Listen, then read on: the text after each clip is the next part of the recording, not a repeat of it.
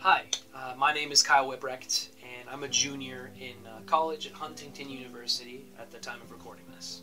I've been creatively involved my whole life. I grew up drawing and sketching and tracing and expressing whatever my tiny little brain could come up with.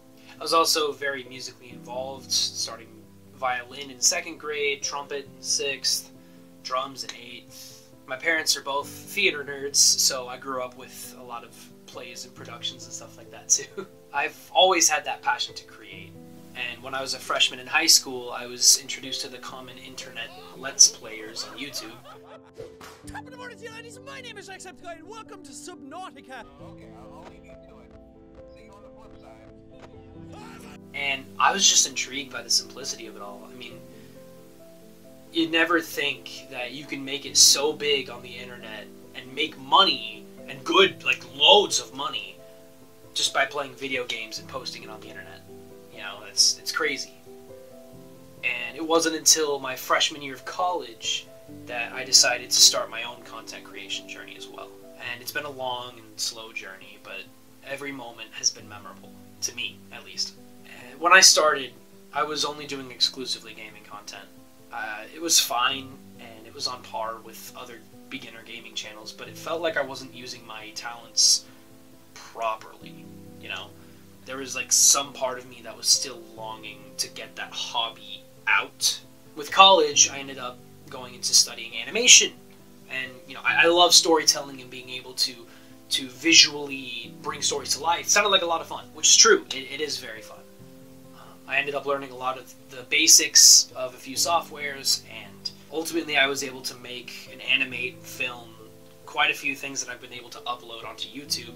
That you know, it's just that extra outlet of those skills and abilities that I have that I could put out there. Shortly after I started actually making and uploading music uh, on YouTube, and now every other platform you can listen to music on. Um, they were mostly cover songs, but a few originals as well. Uh, my very first piece of music I actually uploaded on YouTube was my original song, Gone But Not Forgotten. It's a Unus Annus memorial song. Funny enough, my music uh, right now is among my most viewed videos on YouTube. Um, and honestly, I'm just honored to have been able to share with so many people and give others the kind of entertainment that I love. You know, I love music, and being able to share my music with other people has been phenomenal. I don't know where my path leads. I don't know what I'm going to do with my degree. I don't know if YouTube is going to place where I exist, you know.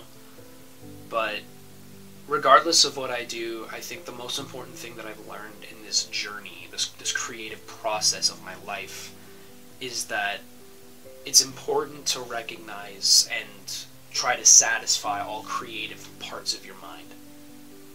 You know, there's going to be parts of you that really want you to listen to music. There's parts of you that want you to watch that movie. There's parts of you that want to draw that character. It's very important to try your best to satisfy all those parts because there's going to be that sense of longing in your mind, you know, and and that's very difficult to work with. Um, yeah, it's just it's it's important to try and express yourself in every way that your mind is capable.